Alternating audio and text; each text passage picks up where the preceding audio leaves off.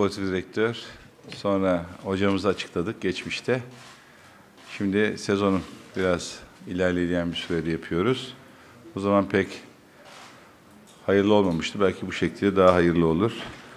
Hocamız zaten görevine başladı, kontratı imzalandı. Ama bu buluşmayı hep beraber yapmak istedik. Evet bir Mohikan daha tanıtıyorum size. Yani ikisinin de Trabzon'da olması da herhalde bir tesadüf olabilir. Yanlış mı söylüyorum? Doğru söylüyorum. Ee, hocamı tabii ben Emre'ye nispeten çok daha az tanıyorum. Futbolculuk döneminde hepimiz biliyoruz. Ama muhabbetimiz, bir oturmuştuğumuz yemeğimiz bu sürece kadar olmamıştı. Şimdi birazcık biz nasıl başladık, nereye geldik? Hocamızı niye seçtik ve nasıl seçtik? Biliyorsunuz e, başka takımlarda da hocalar değişiyor. Başka takımlarda da başarısız transferler oluyor ama söz konusu Ali Koç Fenerbahçe olunca mütemadiyen işleniyor. Bu da bizim açımızdan olumsuz işlenen konulardan biriydi. Ee, hocamızla yolu, Ersun hocamızla yolumuzu ayırdıktan sonra pandemi süreciydi ve o zaman biz tenkit edilmiştik. Hani Emre'ye teşekkür ettiğim hem futbolcu hem yarı hoca, yarı sportif direktör, lider, kaptan, abi modelinde o 8-9 haftayı geçirdiğimizde çok tenkit edilmiştik. Ya koskoca Fenerbahçe bu kadar zamanda bir tane mi hoca bulamıyor? Bunu aranızda yazan oldu mu? İlla ki biriniz olmuştur. Haklı olarak da, haksız değilsiniz. Şey, sorgulamıyorum. E, işin esprisine, o günlere dönüyoruz ama haklı olmakla beraber yapacağımız tercihin doğru bir tercih olması e, ne demiştim ben bu masada otururken? Hayalim bir hoca seçmek, görev süresince de aynı hocayla devam etmek olmadı. Olmadı.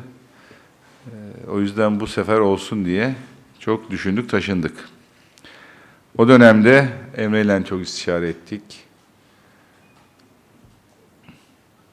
Biraz hatırlamanız için söylüyorum. Emre yanına bir futbol aklı olan, aklına güvendiği, bir süredir incelediği, futbol oynatma sistemine güvendiği bir hocayı ismini koymuştu. Hani bu geçiş döneminde sonra oradan e, altyapılara, altyapıyla A takım arasında köprü olacak. O kişi olmamıştı ama aynı profile sığan, aynı profili görevi görecek Tahir Hoca ile konuşuldu. Tahir Hoca da sağ olsun elini taşın altına koydu. Kolay değildi Tahir Hoca için. Ama sağ olsun o da elinden gelenin en iyisini yaptı. Aslında onun yaşadığı birkaç ay ve verdiği raporlardan da Samandağ ile ilgili ben de beslendim. Dolayısıyla o günlere dönersek Fenerbahçe'nin hala üçüncü, ikinci olabilme imkanı vardı. Rakiplerimiz çok puan kaybetti ki kaybedeceği belli değildi ama biz çok fena geçirmedik, çok iyi de geçirdik. Orta şeker geçti bizim için pandemi dönemi ama bir 5-6 puan daha çok daha rahat alabilirdik. O dönemi bu şekilde geçirdik. Bu dönemi geçirirken biz de hayal ediyorduk. Bir hocamız olsun, yepyeni bir hocamız. Bu 8 haftayı takımı tanımakla geçirsin. Kimse bu hocadan hesap da sormaz nasıl olsa. Kendi kurduğu takım değil, son 8 hafta bu takımı tanısın ve önümüzdeki yıl yapılanmamızı kadro mühendisliğini daha da rahat yapabilsin. Ülkeyi tanısın, medyayı tanısın, ligi tanısın vesaire vesaire. Hayalimiz yani düşüncemiz oydu. Pandemi sürecini en iyi nasıl kullanırız dediğimiz zaman bu ortaya çıkıyordu. Pek çok hocayla görüştük. Görüştüğümüz gönlümüzde olan tek Türk hoca Erol Hoca'ydı. Basında telaffuz eden birkaç isim vardı, doğruydu. Bazı isimler vardı, yakından uzaktan bizle alakası yoktu. Ama ikinci senemin sonunda ona da alışmaya başladım. Bizde hiç ilgisi, alakası olmayan, gerek futbolcu olsun, gerek hocalar olsun bir şekilde bazı belki de medyadan aldıkları desteklen çok güzel köpürtülüyor. Sonra ilgili kulüp ilgi alaka göstermeyince de sonra bir müddet sonra bakıyorsunuz ben Fenerbahçe'yi kabul etmedim. Geçen gün bir oyuncuda örneğini vermiştim. Ya bu bu sene birkaç defa oldu. Nasıl böyle oluyor bilmiyorum ama oldu. Ama görüştüğümüz hocalar da vardı. Topu topuna dört hoca diyeyim size. Tabii bu arada Erol Hoca dolu dizgin Alanya Spor'la başarılı sonuçlara imza atıyor. Kupa finaline doğru gidiyor. Emre ile istişare ettik. Sonra ben Alanya Spor Başkanı Sayın Hasan Çavuşoğlu'nu aradım. Ligler başladıktan birkaç hafta sonra, pandemiden sonra. Dedim ki, Sayın Başkan hocamızla görüşmek istiyoruz, ilgileniyoruz. Başka adaylarımız da var. Ama er ya da geç bir karar vermemiz lazım. Müsaadenle Erol Hoca ile görüşebilir miyiz dedim. O da gayet hak veriyorum. Görüşmemenizi tercih ederim dedi. Çünkü odaklandı, konsantre oluyor. Kupa finaline gidiyoruz. Türkiye Kupası söz konusu. Ve biz de sorduğumuz için anlayışla karşılamak durumunda kaldık. Ve tabii orada şöyle bir şeyle karşı karşıyayız yani. Eldeki kuş mu, daldaki kuş mu? Sonra enteresan birkaç gelişme oldu. Bunlardan bir tanesi destek aldığım, danıştığım yurt dışından bir yerden eldeki ve daldaki hocalarımızı analiz ettirdik. Bir adım daha öteye gideyim. Hiç istemeden bu çalışmanın yapıldığından haberdar olmadan da yapay zeka kullanılarak sadece ve sadece istatistikler ve rakamlar üzerinden bizimle ismi, adı basında geçen hocaların incelemesini yapan bir ekip geldi. O ekip aslında bu Moikan'ı da geliştiren ekip. Onlar bize bir şeyler sundular. Yurt dışından gelen rapora baktığımız zaman hocamızın oynattığı futbol ve onunla beraber futbolun arkasından gelen istatistikler, pres yapma olsun, ceza sahasına girme, şut, gol, gol atma, gol yeme vesaire vesaire bilhassa yapay zeka çalışmasında açık ara önde çıkıyordu. Tabii bunlar tamamen sahada oynanan futbol. Hala hocamın sağ dışı nasıl bir adamdır, ters midir, tatlı mıdır, hoşgörülü müdür, inatçı mıdır, tenkide açık mıdır, futbolcularla iletişimi nasıl hiçbir şey bilmiyoruz.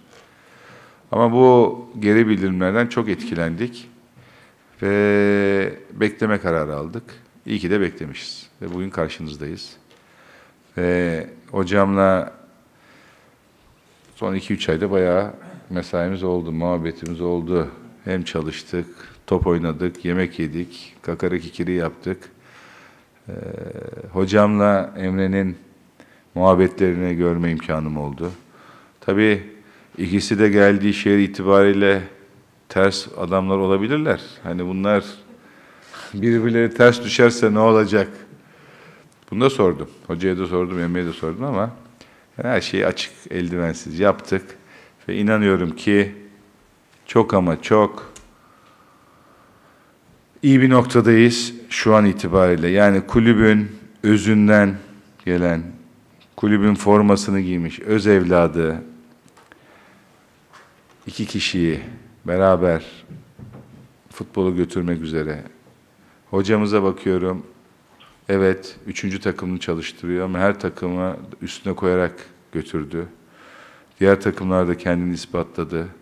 Ve benim inancım bence kariyerin zirvesine Fenerbahçe'de ulaşacak. Ve inşallah biz olalım olmayalım yıllar boyu Emre için aynı şeyi söyledim. Bu camiaya, bu kulübe, Çubuklu'ya hizmet edecek. O da çalıştıkça, yaşadıkça, tecrübe ettikçe üstüne koyacak ve iki tarafın birbirini istediği, iki tarafın hayallerinin ve hedeflerinin uyuştuğu, iki tarafın kimyasının uyuştuğu e, bir ortam gördük, konuştuk. Benim arkadaşlarım arasında bazen bana sorgu sual derler, çok soru soruyorum diye. Hocamla oturdum, sorabileceğim her şeyi en eldivensiz şekilde sordum. hocamın cevapları, yaklaşımı, tenkitleri açık olması, özgüveni, satır arası okuması, gerektiğinde yumruğu masaya vurup burada benim dediğim olur demesi ve ilkeleri ve prensipleri şahsımla çok uyuştu. Bununla beraber bünyemize katıldı. Aynen Emre'de olduğu gibi son derece kolay bir anlaşma sürecini yaşadık beraber. İlgili yöneticilerimizle de yani o işi de hocamın Pelkas'ta dediği gibi iki saatte işi bitirdi. Orada da iki dakikada işi bitirdik diyebilirim. Hocam başkaları istiyordu. Kendisi de ifade etti. Yani biraz geç kalsak belki hocam da eldeki kuş değil daldaki kuş olarak kalacaktı. Başka yerlere gidecekti ama söz konusu Fenerbahçe olunca çok fazla düşünmek zorunda kalmadı. Bu formayla şampiyonluğu yaşayan, tecrübe eden hocamız inşallah aynı şekilde Emre için de geçerli. İnşallah bu formayla nice şampiyonluklar tadacaktır. Şunu konuya değinmek istiyorum. Evet, bizi şimdiden şampiyon yaptılar. O tuzağa düşmeyeceğiz dedik. Çok fazla onu tekrarlamak istemiyorum. Bir de şöyle bir nakarat var. İşte yönetim yapacağını yaptı, Emre yapacağını yaptı. İşte hocanın top orkestra şefinde, hoca başarısızlığı olursa hocanın sorumludur diye bir hava yaratılıyor. Bunu daha 2-3 gün evvel de söylemiştim. Bugün üstüne basarak söyleyeceğim. Kesinlikle öyle bir ortam yok, öyle bir düşüncemiz de yok. Bu bir ekip çalışması. Evet sadece transferle şampiyon olunmuyor. Takım olmamız lazım. Ama takım olmamızda da hepimizin çorbada tuzu olmalı. Hocam istediği kadar takımı iyi yönetsin, istediklerini sahaya yansıtsın. Biz maaşları ödeyemezsek olumsuz. Biz Emre, Hoca, Volkan Ballı, Selçuk, Samandıra'da arzu edilen havayı, atmosferi, iklim oluşturamazsa yine başarı gelemez. Dolayısıyla burada başarı varsa hepimizin, başarısızlık varsa da başkanlığı yönetimindir. Bunun üstüne basarak söylüyorum. Hiç de bundan gocunmuyorum. Demek ki biz doğru imkanları sağlayamamışız bu başarının gelmesi için. Ve başarının geleceğine e, gönülden inanıyorum. Hocam buraya kendi ekibini getirdi. Kendi ekibinin içinde iletişimci var, kaleci antrenörü var, fitness var değil mi? Atletik ne diyorsun ona? Performans. Performans hocası var. Onu da bir gün tanımızı isterim. Handelis çok kendine has biri. Yani keyif alırsınız. İşte Alman kaleci antrenörümüz var. Ve çok merak ettiğim konulardan biri bizim ekiple hocanın ekibi nasıl kaynaşacak? Çünkü benim kurmak istediğim sistemde kulübün kurumsal hafızası olmalı. Kulübün sağlık personeli, analizcileri, scoutçuları, hocaları olmalı. Böyle her gelen giden hocayla baştan aşağı bütün sistem değişmemeli. Ve en şu ana kadar mutlu olduğum unsurlardan bir tanesi de yani hocamızın kendi getirdiği ekiple mevcut ekibimiz nasıl kaynaştığı, nasıl birbirine bağlandığı, aralarındaki oluşturdukları kimya, olumlu kimya, e, puzzle'ın her biri puzzle'ın bir parçası olmasını şu ana kadar da e, o çok çok iyi işlediğini görüyorum. Gerek idmanlar olsun, bilhassa duran toplar olsun, biliyorsunuz duran top zafiyetimiz vardı, performans çalışmaları olsun, yani biz bazı futbolcularımız hafif geliyordu idmanlarımız. Şimdi herkes memnun. Yani şu pestilimiz çıkıyor lafını çok duyuyoruz. İyi anlamda söylüyorum. Hoca kendine has biri. Onu da söyleyeyim. Bakmayın böyle e, yumuşak göründüğüne. Yani yumruğu masaya vurabiliyor ki liderlerde bu çok önemlidir. İnandığı konuda da yani benim dediğim olacak diyecek kapasitede bir hoca. Bu da çok çok önemli. Yani üç tane karakteri çok kuvvetli insan yan yana oturuyor. Buradaki önemli şey bu üç insanın birbirini tamamlaması, birbiriyle çatışmaması. Çatışacak da bir şey yok şu ana kadar, yanlış anlamayın ama biz birbirimizi tamamlayabileceğimizi düşünüyorum. En sonunda şunu söylemek istiyorum. Bu takımın hocası, sportif direktörü ve idari menajeri Volkan Ballı ona da çok işiyor. Bunların harmoni içinde çalışmaları, aynı hedefe odaklanmaları, aynı şarkıyı söylemeleri, futbolcularımız önünde yek vücut olmaları bizi başarıya götürecek en önemli faktörlerden biridir. Onu da şu an geldiğimiz noktada sağlayabildiğimizi görüyorum. Bir de hocamdan bir tane ricam var.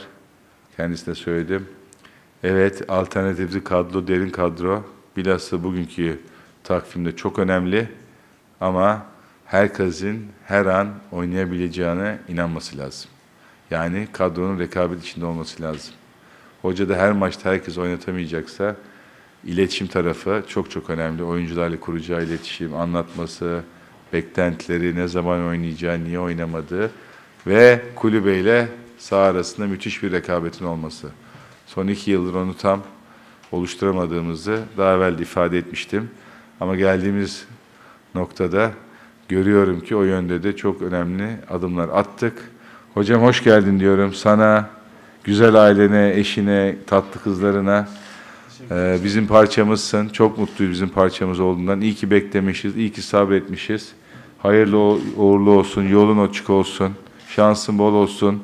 Allah hepimizin yardımcısı olsun. Ve hep beraber senin liderliğinde sezon sonu güzellikler yaşayalım. İnşallah teşekkür ederim başkanım. Başlamadan önce yeni sportif direktörümüz Emre Belizoğlu'na hayırlı olmasını diliyorum yeni görevi. Öncelikle eee, Türkiye'nin en büyük kulübünde 4 sene formasını terlettim. Ve şu an teknik direktör olarak karşınızda bulunmaktayım. Ve onun mutluluğunu, gururunu yaşıyorum. Tabii beni bu göreve layık gören başta başkanımız Ali Koç, yöneticilerimiz olmak üzere kendilerine eee, çok teşekkür ediyorum. Sonuçta buraya gelmeden önce e, geleceksem de burada beni neler beklediğini çok her şeyin farkındaydım. Tabii Alanya Spor veya Malatya Spor'la kesinlikle kıyaslanamayacak. Sonuçta burada 4 yıl top oynadım, şampiyonluk yaşadım.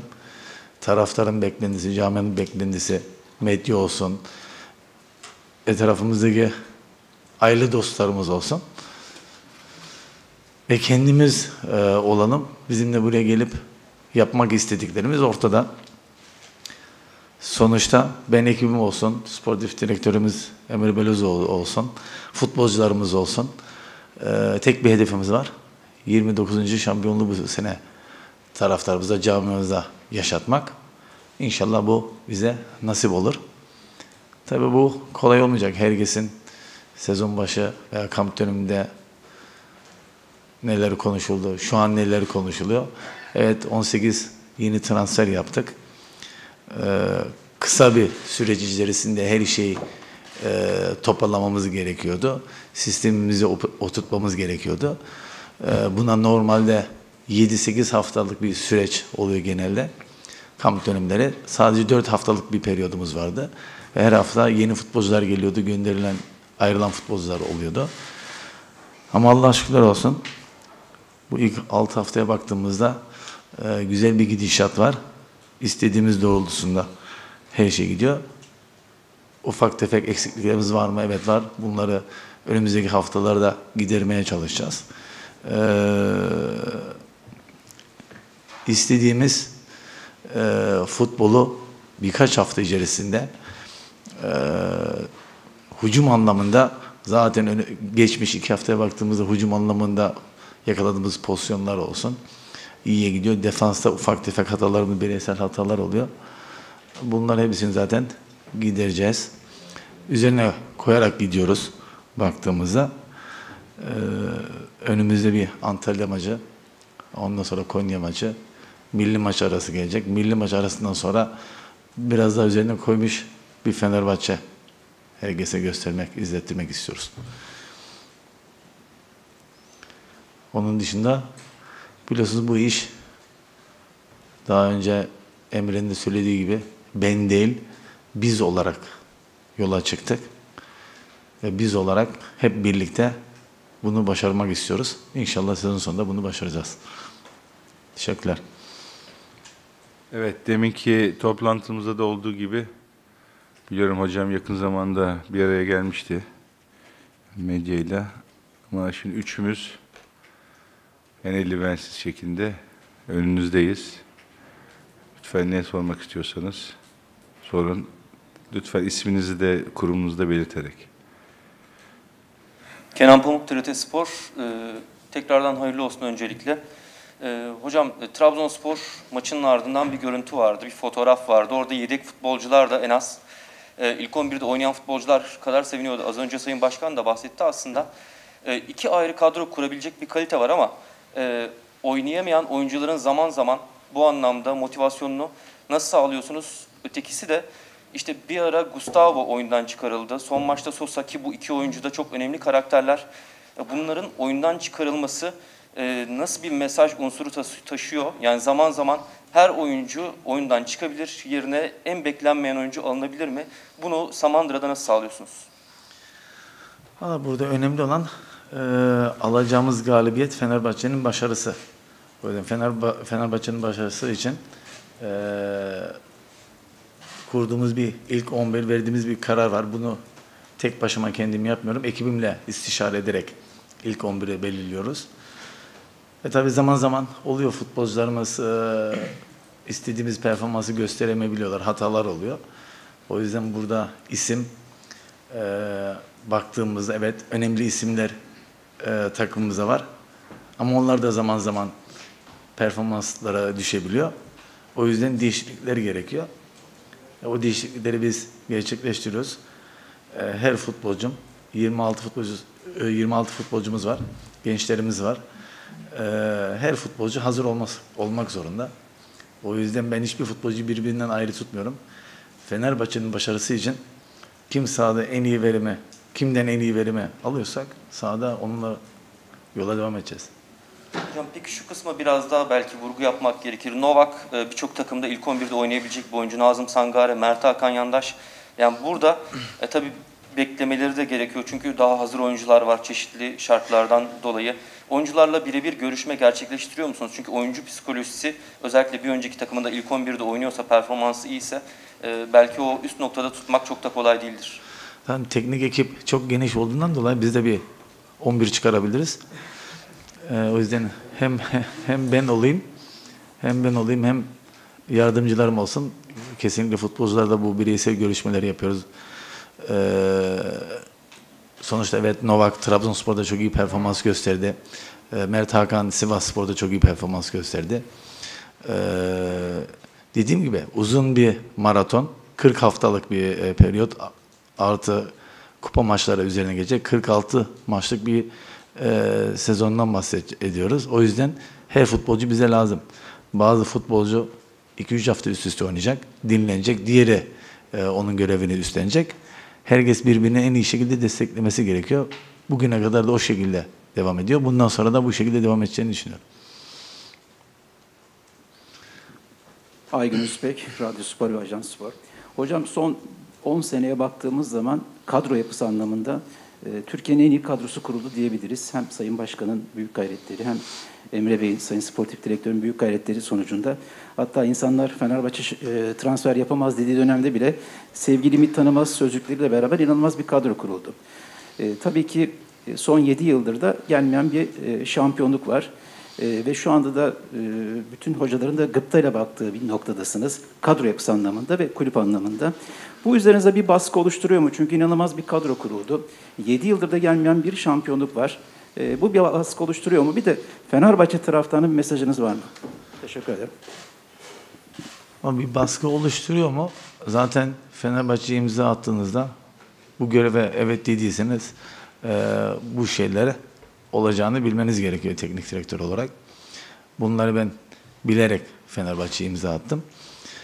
E, o yüzden o konuda e, çok şey değilim. Yanlış işte tabii zor. Zor bir e, hiç kimseye bir söz veremez. Evet kesin olacağız diye bir garantisi yok bu işin. Sonuçta futbol sahada oynanıyor. Oynayarak bu hedefe gitmeye çalışacağız. Ee, biz de bunun e, doğru kararlar vererek, birlikte doğru kararlar vererek en iyisini yapmaya çalışacağız.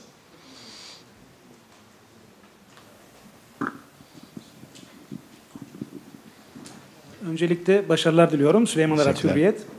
Ee, kadroya 18 yeni transfer e, yapıldı. Zaten kadronun içinde çok önemli isimler de vardı. Çok güçlendi Fenerbahçe tabii ama e, kulübeye baktığımız zaman veyahut da takımın e, lider pozisyondaki insanlara baktığımız zaman orada da çok böyle dominant karakterler var mesela. Başkan öyle, Emre öyle, e, Volkan Demirel öyle. Yani e, siz de çok genç bir teknik adamsınız. Bu sizin gözünüzü korkuttu mu ilk başlarken?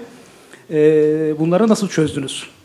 Bu problem gibi gözüken, bu sorun gibi gözüken zaten şeyi. uzun yıllardır bazı arkadaşlarımızla tanışıyoruz. Emre ile zaten bir ara takım arkadaşı olacaktık olmadı Newcastle'da. o dönemde nedir o ayrı evde kalmışlıklar? Ne kadardı şeyiniz? ben Olympiakos oynuyordum. Ee, Newcastle transferim vardı. Gerçekleşme üzereydi. Newcastle'a gittiğimde Emre ile birlikte kaldık. Her gün antrenman yapıyorduk. Bazen günde çift idman yapıyorduk. Ama mahal O zaman çekilmen seviyordum ama hoca zorluyordu beni. O yüzden futbolcular şu an yakınıyor. ee, e, tabii o gerçekleşmedi. Ee, Newcastle iki maçı vardı galiba. Em- Emre de o dönem sakattı. Ee, iki maç takım kaybedince bizim işimizde hoca gönderildi, görevinden alındı. Bizim işimizde suya yattı. Öyle bir maceramız oldu. Ha tabii ki e, güçlü karakterler Emre olsun, Volkan olsun etrafımız var. Ben de aynı o şekildeyim, güçlü karakterim, dominant bir karakterim, öyle söyleyeyim. Ama biz her şeyi e, konuşarak, istişare ederek e, çözüyoruz. Ve geldiğimiz günden bugüne kadar hiçbir sorun he- herhangi bir şekilde yaşamadık. Bundan sonra da zaten yaşayacağımızı düşünmüyorum. E, tabii ki gün gelecek, maçlar e, kaybedeceğiz, puanlar kaybedeceğiz, maçlar kaybedeceğiz.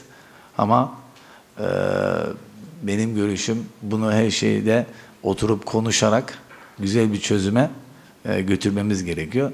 Sadece konuşarak bu işler olur. Farklı şekilde olmayacağını düşünüyorum. E, Her şey zaten Fenerbahçe için e, yapacağımızı yapılmasını herkes bilmesi gerek. Hocam Ahmet Selim Kul A-Spor. Ee, şunu soracağım 18 transfer yapıldı. Hani açıkçası beklenti kamuoyunda bizim de takımın bir ürün, uyum süreci yaşayacağıydı ve sezona daha çalkantılı başlayacağıydı. Ama biz sahada çok fazla bu süreci görmüyoruz. Yani takım sanki geçen yılda beraber oynuyormuş gibi atmosfer, hava var. Ee, bu nasıl oldu? Bunu bize biraz açıklar mısınız? Sizin de beklentilerinizin ötesinde mi takım içindeki uyum bu anlamda? İşte önemli olan kim hangi açıdan bakması. Sonuçta evet her şey iyi gidiyor, güzel. Ee, eksiklikler halen biraz var. Ee, bu uyum süreci halen bazı arkadaşlarımız biraz yaşıyor olduğunu ben düşünüyorum. Ama onlar da önümüzdeki haftalarda milli maç arasından sonraki dönemde daha iyi bir seviyede olacağını düşünüyorum.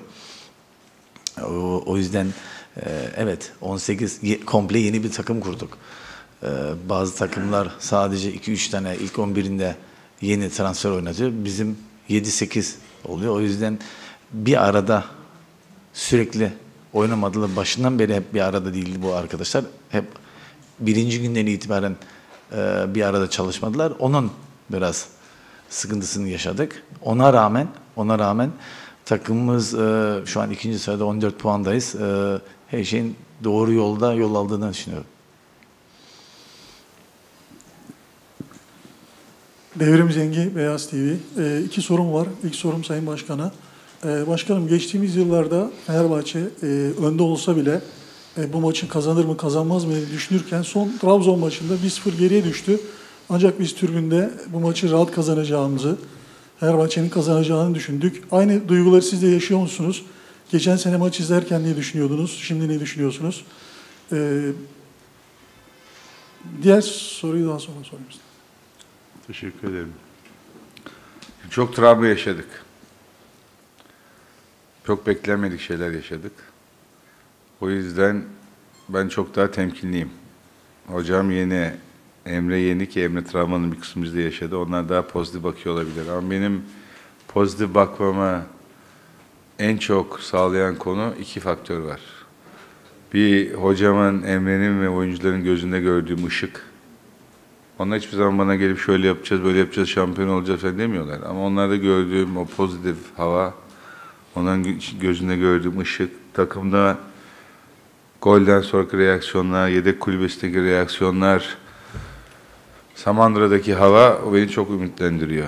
Maça gelince de etrafımdaki futbol takip eden insanların duygu, düşünceli ve reaksiyonları da benim çok daha umutlu bakmama sebebiyet veriyor. Ama Trabzon maçının ilk yarısında bitti. Eyvah dedim yine işte Moika'nı dans edeceğiz. Bu hafta Emre'nin hocanın basın toplantısı var. Bu maçı alamazsak şimdi nasıl bir havada olacağız? Şöyle böyle düşüncelere ister istemez kapıldım. Ama o 27-30 dakika ikinci yarı. Dün gece de yatarken tesadüf Fenerbahçe TV'de şey vardı. Maçın tekrar vardı. Tabii skorunu bilip maçı seyretmek daha rahat oluyor. Ya Bayağı ikinci yarıda üstünlük bizdeymiş. Dolayısıyla bundan sonraki maçlarda çok daha pozitif olmamı sağlayacak veriler geliyor. İnşallah böyle devam ederiz ama hocamın dediği gibi, benim de dediğim gibi tökezlediğimiz zamanlar olacak. Kesinlikle ya bunlar havaya girmiş, deriye görmeden paçaları sıvıyorlar falan kesinlikle modunda değiliz. Şükretmeyi biliyoruz. Çok şükür şimdiye kadar iyi gidiyoruz. İnşallah böyle devam ederiz. Diğer sorum Erol Hoca'ya. Hocam eee, sizin oyuncularla aranızda yaş farkının fazla olmaması sizin için bir avantaj mı? Çünkü eee, Samandıra'ya baktığımızda her idmanda herkes çok neşeli. Eee, bu eee, sizin getirdiğiniz bir pozitiflik. Bunu nasıl sağladınız? Bir de hocam eee, yarışta rakip olarak kimleri görüyorsunuz sezon sonunda? Futbolcularımızın karakterine baktığımızda gerçekten çok müthiş karakterler takımımıza transfer ettik. Daha gecesinde olanlar da zaten müthiş karakterler. Yeni gelen futbolcuları çok iyi e, karşıladılar ve yardımcı oldular. E, o konuda hiçbir e, sorunumuz yok. E, iletişim olsun, anlaşma, arkadaşlık olsun. E, bu gerçekten çok iyi takımımızda. Zaten biz takımımızı sabah erken saatlerde çağırıp öğle yemeğinden sonra e, bırakıyoruz. Orada zaten o kaynaşma, kaynaşmayı en iyi şekilde e, sağlamaya çalışıyoruz. E, onun dışında yarışta gibi biraz şu an konuşmak çok erken. Evet, şu an Alanya lider, biz ikinci sıradayız, Galatasaray üçüncü sırada. E, ama hiçbir zaman unutmayalım, sezon 40 hafta. O yüzden e, daha çok oynanacak maç var, değişecek pozisyonlar var. Yüzden çok er, şu an konuşmak erken.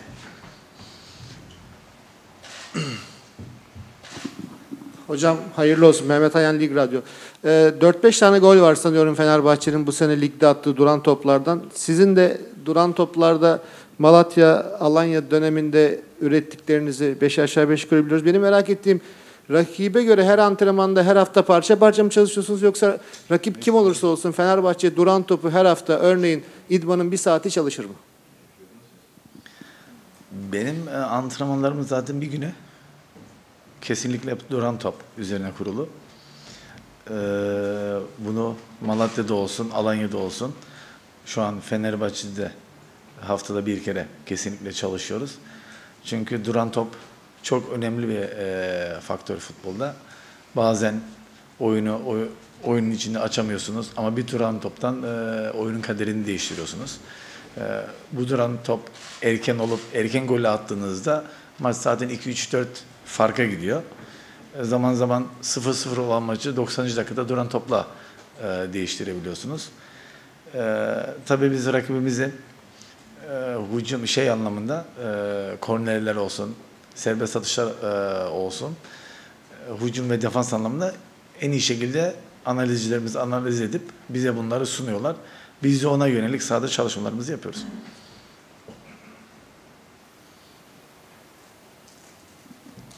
Suya Gören Anadolu Ajansı.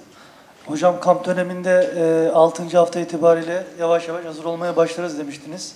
Şu an aynı görüşte misiniz? Takım tam olarak kaçıncı hafta yüzde yüzde gelecek? Bundan sonra mı 6 hafta daha söyleyeyim onu diyeyim. Yok hocam? Sezon başına itibaren demiştiniz. Diğer sonra başkan olacak. E, başkanım seçim döneminde taraftarlara şampiyonluk vaat etmiyorum. Taraftarlara hitaben şampiyonluk vaat etmiyorum. Gurur duyacağınız bir Fenerbahçe e, olacak demiştiniz. E, o Fenerbahçe bu dönemden sonra e, taraftarlar görecek mi ve bu ekiple mi olacak? Buna inancınız nedir? Teşekkür ederim. Evet 6 hafta dediğimde zaten oraya doğru yol almış gidiyoruz. e, üzerine koyarak gittiğimizi düşünüyorum. Tabii daha önce söylediğim gibi eksiklikler var. Her şey yüz yüz istediğimiz gibi değil. E tabii bunları hep çalışarak gidermemiz lazım. Önümüzdeki süreçte de o çalışmalar gerçekleşecek. İnşallah üzerine biraz daha koyarak daha iyi bir durumda oluruz. Evet gurur duyan Fenerbahçe sadece şampiyon olmak değil. Öyle bir şampiyon olursunuz ki millet böyle yapar. Yani bunlar işte oyunlarla saha içi saha dışı şampiyon oldu der. Yani sportif başarısıyla Türk sporuna kattıklarıyla, getirdiği yenilikleriyle, duruşuyla, fair play ile, dürüstlüğüyle çocuklara örnek olabilecek hareketleriyle bir Fenerbahçe'den bahsediyorduk. Bunların bir kısmı zaten oluyor ama futbolda başarı olmadığı müddetçe, bütün branşlarda şampiyon olun, futbolda olmadığı zaman ne yazık ki hak ettikleri değeri görmüyorlar. Biz doğru yoldayız. Tam istediğimiz yapmak için o süreyi alabileceğiz mi, o süremiz olacak mı, biz o süreyi isteyeceğiz mi, onu zaman gösterecek. Ama doğru yoldayız. Lig Radyo Cüneyt Kaşeler. Hocam e, öncelikle hayırlı olsun. Basın toplantılarına katılamadığımız için burada soracağım. Hücum ve savunmadaki geçiş oyunlarında ne kadar memnunsunuz? E, kafanızdaki geçiş oyunlarını yapabiliyor mu Fenerbahçe? Modern futbolda en fazla buradan gol atıyor ve gol yiyor takımlar. Başkanıma ve Emre Belezoğlu'na da bir sorun var ayrıca. Bir de futbolda zaten ana faktör baktığımızda bunlar. Ee, geçiş oyunları. Top sizdeyken kaybettikten sonra ne yapıyorsunuz? Ve rakipten topu kaptığınızda ne yapıyorsunuz? E burada zaten demin anlatmak istediğimiz o eksikliklerimiz var. O eksiklikleri önümüzdeki haftalarda gidermemiz lazım. Basit hataları gidermemiz lazım. Ee, bunlar biraz da oyunumuzun içinde mevcut. Bunları tabii daha iyi bir seviyeye çekmemiz gerekiyor. Emre Belezoğlu'na sorum da şu. Sportif direktör olduğunuz için alt, e, alt yaş gruplarında ligler oynanmıyor. Ve bu oyuncular geleceğin futbolcuları olacaklar. Bu konuda siz ne düşünüyorsunuz? Tabii çok zorlu bir süreç. Yani e, oyuncuların gelişim yaşları e, özellikle e, bu 16, 17, 21 yaş arası oynamadan geçilmesi kabul etmemiz gerekiyor ki e, çok e, e, iyi bir senaryo değil. Oyuncuların kendini geliştirmeleri için maç oynamaları gerekiyor. Bu süreçleri doğru doğru e, dolu dolu yaşamaları gerekiyor. E, ama ne yazık ki dünyada gerçekleri var. E, şu an e, çemberde gitgide daralarak herkes bir hastalık e, sanki ilk gününden pandemi daha da e, kötüye doğru gider bir halde. Tabii e, olaya birazcık daha sağlık açısından bakmamız gerekiyor. Her şeyin başı sağlık olarak düşündüğümüzde. Ama ben oyuncuların olabildiğince beraber maç yapacakları, kendi takımlarında antrenman yaptıkları, kendi aralarında oynadıkları, bazen e, hocamız da e, biliyor bu takımlarla kendi aramızda da bizler maç yapacağız. E, o şekilde o süreci en azından oyuncuların kendi ligleri olmaması itibariyle onlara yardımcı olma adına da e, bir e, programımız var. Ama büyük fotoğrafta tabii ki genç oyuncular için çok zorlu bir süreç bu pandemi dönemi. Sayın Ali Koç'a sorum da şu. e, Bugün sürekli başarı elde eden kulüplere baktığımızda yönetim sürekliliği de çok önemli bu anlamda. E, Yönetimler misyon ve vizyonu uyguladıkları zaman e, topun çizgiyi geçip geçmemesi e, çok önemli olmuyor. Siz de ilk başladığınızda aslında iki dönem için aday olduğunuzdan bahsetmiştiniz. Geçen yemekte de dediğiniz gibi belki de en uyumlu ekibi üçüncü senenizde yakaladınız. Ee, şimdiden aslında belki erken ama ikinci dönem içinde aday olmanız gerektiğini düşünüyor musunuz? Çünkü bu proje aksi takdirde yarım kalabilir. Kalabilir. Şu an hiç seçim için düşünmüyorum. Şu an tek düşündüğümüz yola çıktığımız hedefleri bir şekilde ulaşmak. Evet iki dönem dedik ama her zaman evdeki hesap çarşıya uymaz. Zamanı gelince bakacağız. Ama ben şiddetle tekrar söylüyorum. Hani seçimlere ne kadar süre kalırsa kalsın, ne kadar çok aday çıkarsa çıksın. Yani her üç senede bir bir seçim oluyor. Yani. Dolayısıyla seçimler sezona rastlıyor. Bir sezona illaki rastlıyor. Hani biz iyi giderken birileri çıktı, aday oldu, gidişimizi engelledi falan hiç öyle modda değilim. Fenerbahçe için akıl akıldan üstündür. Yani aday olma niyeti olan kim varsa yani aday olması gerektiğini Fenerbahçe'nin iyiliği olduğunu düşünüyorum. Evet, 6 sene gerekiyordu bazı işleri yapabilmemiz için. Göreceğiz o 6 sene olup olmayacağını. Serkan Akkoyun TRT Spor. Ee, sorum Erol Bulut'a. Hocam dünyada belli teknik adam profilleri var. Özellikle hani dikkat çeken işte Hetafe'de Bordalas ya da İtalya'da Juric ya da e, De Zerbi. E, hakeza daha üst seviyede İngiltere'de Hazenhüttl. Bunlar genelde metodik hocalar ve e, pragmatist hocalar diye ayrılıyor. Yani eldeki malzemeyi iyi kullananlar, ne olursa olsun kendi oyununu oynayanlar. Fenerbahçe'de Erol Bulut hangisi olmayı tercih edecek? Güzel bir soru. Benim zaten e, Malatya'da başladığım ilk teknik direktörlük e, görevimde söylediğiniz gibi elde bir malzeme var. Bir şeyler yapmanız gerekiyor. Eldeki malzemeye göre sistemi, oyun tarzınızı gerçekleştirmeniz gerekiyor. Ee, yine de ben benim kafamdaki sistemi sistemi takımıma en iyi şekilde e, anlatmaya çalışıyorum.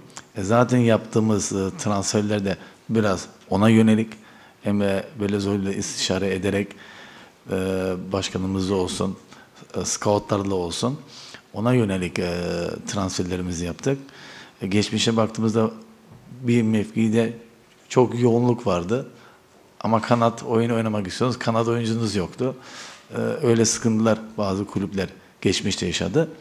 Biz ne oynatmak istediğimizi çok iyi e, biliyorduk. Ona göre de transferlerimizi e, gerçekleştirmeye çalıştık. E, kafamdaki sistemi oturtmaya çalışıyorum. Eksiklikler var mı? İlla ki var. E, her şeyi en iyi şekilde ve yüzde yüz iyi yaptığınız anlamına gelmiyor. O eksiklikleri biz kazandığımız maçlar dahil e, gidermeye çalışıyoruz.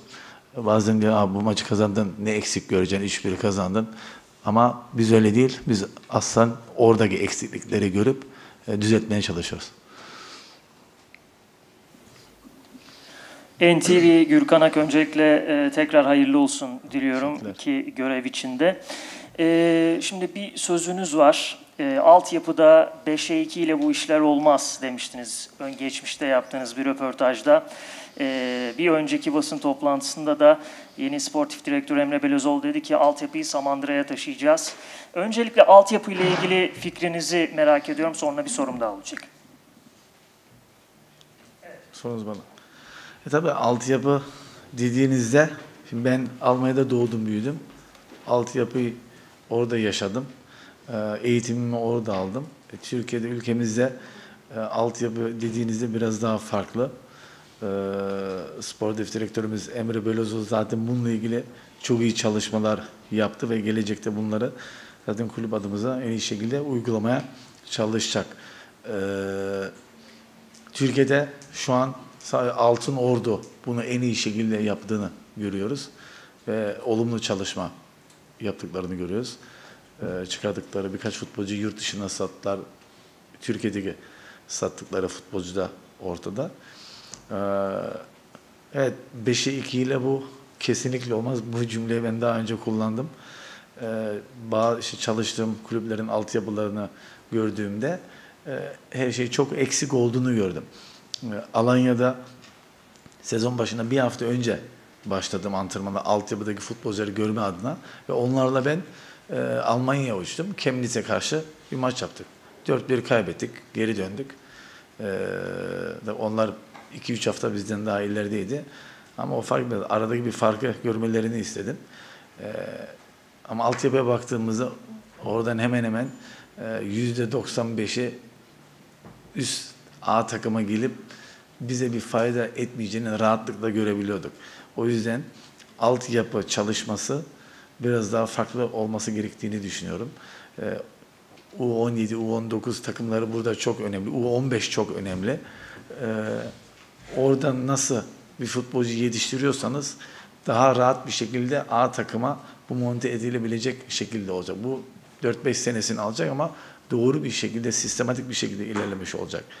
Ee, Avrupa'ya baktığımızda e, Barcelona'dan çok iyi futbolcular çıkıyor, e, çıkıyor herkes anlatıyor. Ama adamların e, ikinci bir takımı var ve o ikinci ligde oynuyor. Veya üçüncü ligde oynuyor. Türkiye'de maalesef öyle bir sistemimiz yok. Orada da büyük bir sıkıntı var. Zaten rezerv ligi diye bir lig e, yapılacaktı.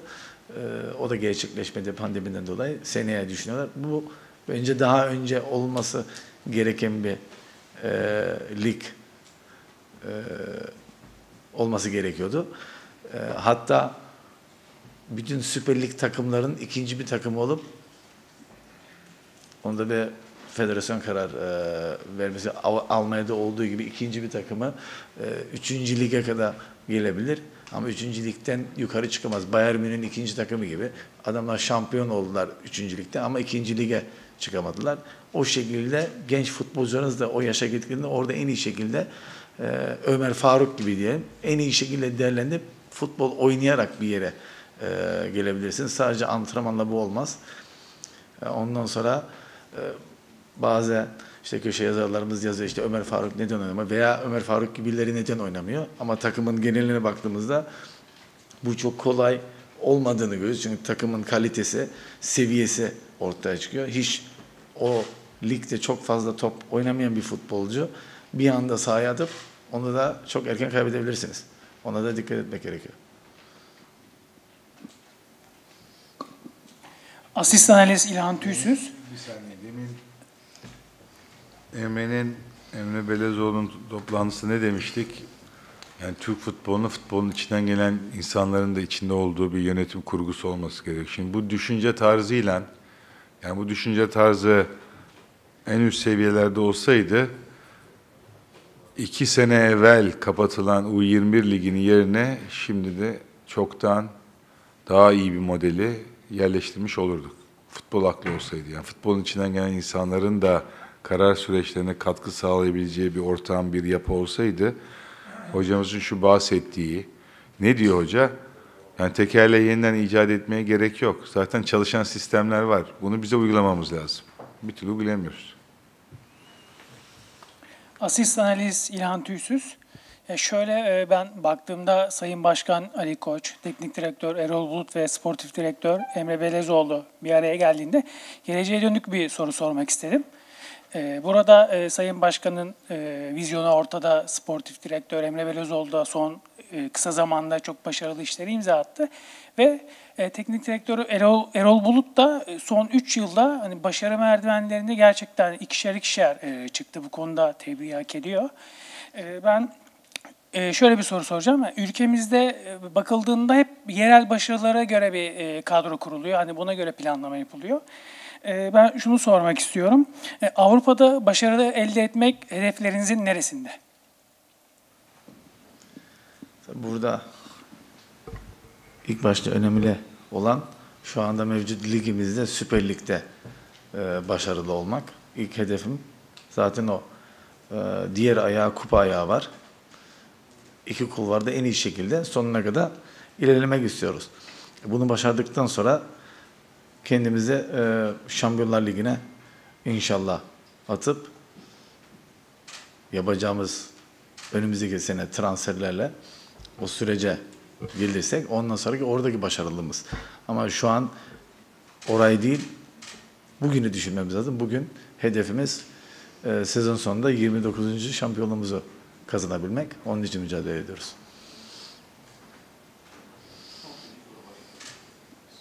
Son iki, son iki soruymuş. E, Ahmet Ercanlar, sansürsüz futbol. Buradayım başkanım.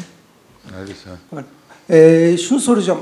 Geçen bir belgesel izlerken Cruyff şöyle diyordu. E, Barcelona'ya gittiğimde mağdur bir kulüple karşılaştım. Ve ben bunu onlara e, bu mağduriyetin bir mazeret olmadığını anlattım ve ondan sonra başarıyı yakaladım dedim. Şimdi Fenerbahçe 3 Temmuz'da mağdur, işte geçen sene hakemlerden dolayı mağdur, işte harcama limitinden dolayı mağdur. Şimdi e, bu alışkanlıklara sahip bir camia var. E, bunu değiştirmek için ne, ne yapmayı planlıyorsunuz? Bu mağduriyetten e, etkilenmemesi için nasıl bir plan düşünüyorsunuz? Çünkü yine olabilir bu senede bazı sıkıntılar. Biz her şeye şu an olum, olumlu bakıyoruz. Şu an olumlu giden bir gidişat var. Ee, bazı durumlar negatif olsa da benim için daha doğrusu sahada olan e, önemli. Sahada her şey doğru şekilde yürütüldüğünde olsun işte hakem kastediyorsunuz, var kastediyorsunuz. Bunlar zaten en iyi şekilde hakemlerimiz yapmaya çalışıyorlar. Ufak tefek hatalar herkes yapabiliyor. Ee, biz ama en iyi şekilde işimize konsantre olup e, hedeflediğimiz e, sezon sonundaki başarıyı elde etmeye çalışacağız futbolcularımızla, ekibimizle birlikte. Volkan Demir Sabah Gazetesi. E, hocaya ve başkana takımla ilgili birer soru sormak istiyorum. Hocam e, az önce dediniz ki artık bugünü, e, şu an bugünü düşünmek zorundayım. Çünkü önümde Süper Lig ve Türkiye Kupası e, zorlu maçlar var. Ben biraz daha geriye çekerek zamanı Pazartesi ile ilgili bir soru sormak istiyorum. Şimdi 45-65 arası Göztepe maçı Sosa'nın önderliğinde mükemmel bir oyun. ikinci yarı başında. Trabzon maçında da Sosa'nın olmadığı ama işte farklı oyuncuların ön plana çıktığı yine e, 70. dakikaya kadar çok etkili, çok baskın bir oyun. Pazartesi günü için işte e, Sisse'nin bir gol bir asisti Trabzon maçında, Samatta'nın Karagümrük maçında iki golü. E, çok alternatif bir kadro var. Pazartesi için e, size bu performanslar karar verme konusunda e, zorluk çıkarıyor mu? Ve pazartesi günkü e, orta saha ve hücum bölgesindeki kurguda nasıl değişiklikler olacak veya değişiklikler olacak mı?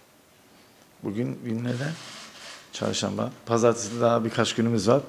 Yapacağımız antrenmanlar var. Ondan sonra kararını vereceğiz. Ee, bir de e, Sayın Başkan'a bir sorum olacak.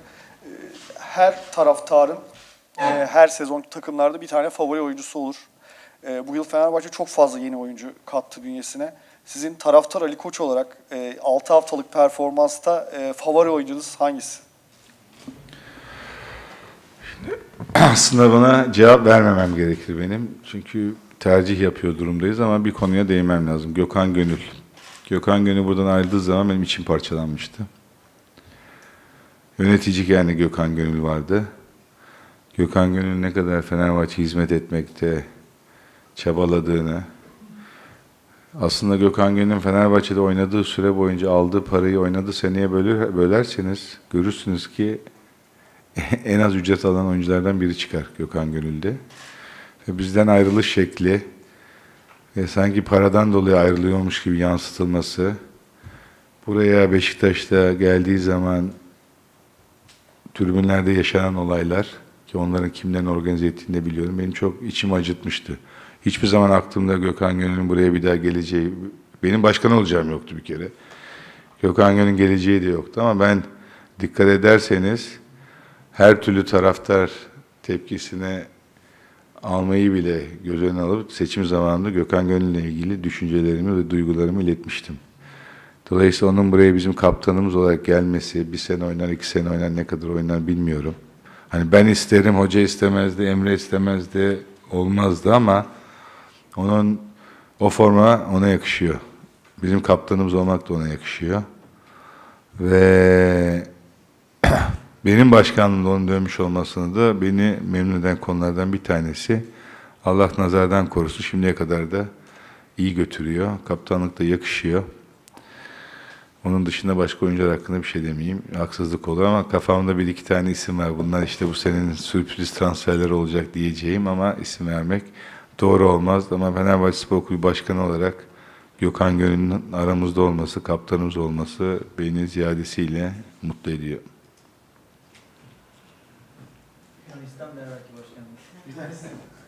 Yunanistan der belki. evet şimdi sorular bitti. Uzun zamandır beraberiz. Bir videomuz var onu bir seyredelim.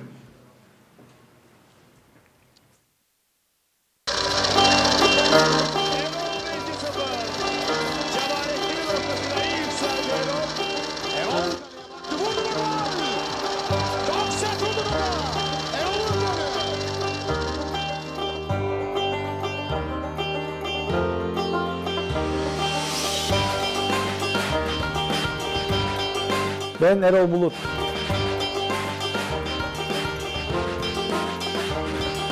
Tutkunu olduğum, şampiyonluk yaşadığım, sonsuz bir aşkla bağlandığım çocukluk sevdama kavuşuyorum.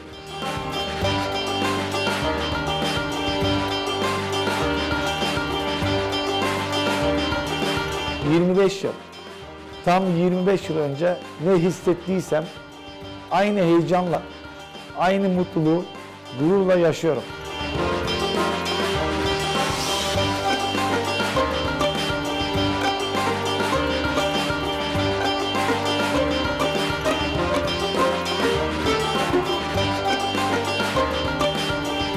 Bu bizim hikayemiz. Çünkü biz Fenerbahçe'yiz.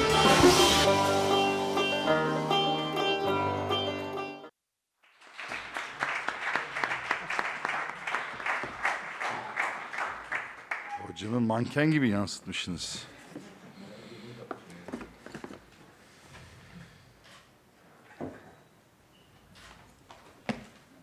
İmza kalemi lütfen.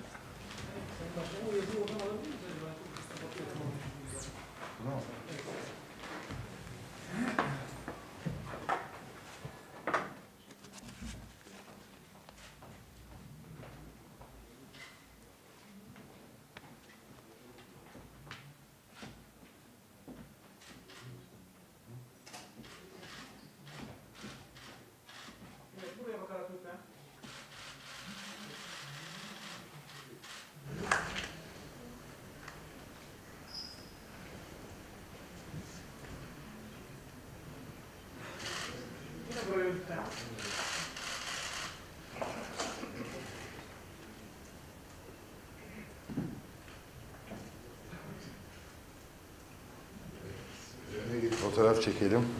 Emre, Emre. Arkada, arkadan fon yapıyoruz. Her şeyi yapacakmışız. Ayrımak büyük yani arkadan.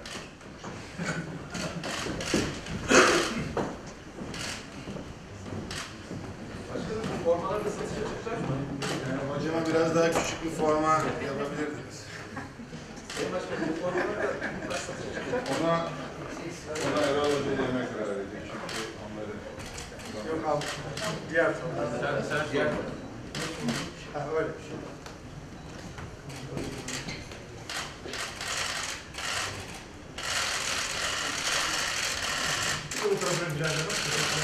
Bir saniye lütfen. Şimdi bütün yönetim kurulunu çağıracağım. Ondan önce kalan yönetim kurulu yöneteceğiz. Selahattin'le bir Kemal'i rica edebilir miyim sizin? O üçümüz de